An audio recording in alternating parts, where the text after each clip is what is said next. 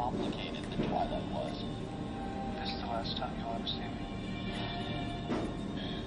Bella's in such a deep depression when Edward leaves, and Jacob is the friend that will always be there for her.